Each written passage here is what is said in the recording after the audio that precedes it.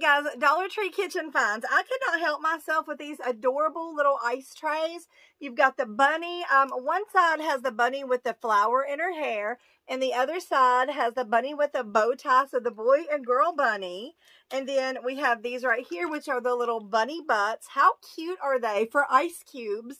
just in general, they're absolutely adorable. And then they have these mini spatula sets, which are so cute. They have the light pastel ones, which um, they have the bunny on one, and then on the other one, it has an egg. How cute are these?